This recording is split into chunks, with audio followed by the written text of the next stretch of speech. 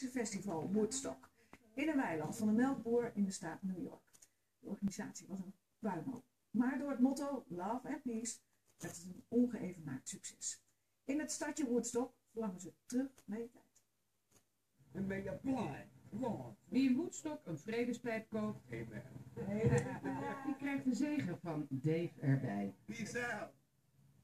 Nog altijd waren je hier in de jaren 60. Op de toeristen na dan, want die komen hier steeds meer. Op zoek naar peace and love en nostalgie. There you go. Peace and love. What, what are people gonna see in the Rock tour? rock and roll walking tour. Woodstock. De sfeer hangt er dan nog steeds. Het festival zelf is hier nooit geweest. Dat werd gehouden op een plek met meer ruimte. Een weiland van een melkboer in Bethel, anderhalf uur verderop. Het werd een chaos. Er kwamen bijna een half miljoen mensen, veel meer dan verwacht. En er was vooral veel niet geregeld. Maar dat maakte het ook tot het legendarische festival dat we ons nu herinneren, denkt de organisator zelf. people have said it's probably the most peaceful gathering in history.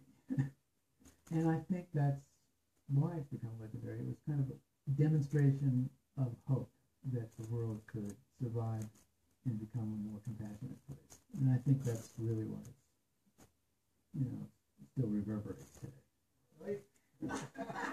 Lang ontmoette deze week sinds lange tijd weer zijn oude vrienden en mede-organisatoren. De afgelopen tijd herleefde sowieso oude tijden voor hem, want hij probeerde weer een woedstok te organiseren.